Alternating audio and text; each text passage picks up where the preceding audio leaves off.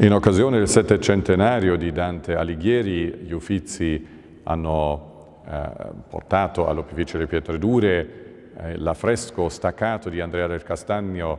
sicuramente tra i più famosi ritratti storici eh, del sommo poeta, per il primo eh, restauro, dopodiché eh, questo affresco era eh, staccato negli anni 60 dell'Ottocento. Mm, ed è uh, veramente splendido uh, quello che ora si vede, il poeta sembra ringiovanito effettivamente e si vedono eh, con precisione ogni pelo della sua barba di un giorno e mezzo, due giorni, um, cosa che prima non era visibile mm, per via del polvere e dello sporco di un secolo e mezzo che aveva raccolto sulla sua superficie, um, ma ci sono altri eh, particolari che ora emergono chiaramente ed è eh, anche strutturalmente eh, rafforzato e quindi pronto per il viaggio a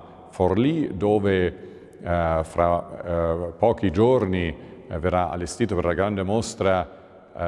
con oltre 300 opere, di cui oltre 50 opere dalle Gallerie degli Uffizi, mostra che le Gallerie degli Uffizi co-organizzano con la Fondazione Cassa di Risparmio di eh, Forlì in occasione di eh, questo settecentenario e che per la prima volta ripercorrono tutte le tappe della fortuna visiva di Dante dai suoi giorni fino al contemporaneo eh, quindi veramente eh, rendono evidente ehm, rende evidente questa mostra l'impatto fortissimo su tutta la cultura italiana, non solo la lingua eh, italiana, non solo la letteratura, ma eh, anche eh, appunto la tradizione visiva eh, italiana e oltre anche quella inglese e eh, tedesca sono inclusi, cioè proprio l'impatto internazionale di Dante attraverso i secoli. La grande mostra di questa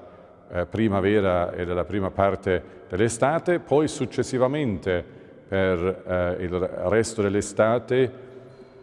l'opera sarà invece esposto a Castagno, quindi al luogo di nascita del pittore di questo affresco straordinario e famosissimo, Andrea del Castagno, ma Castagno è anche un luogo dantesco, quindi c'è un doppio legame con questo affresco, ehm, perché era proprio lì che Dante e gli altri esiliati si sono riuniti per un'ultima volta per decidere se tornare a Firenze eh, o meno.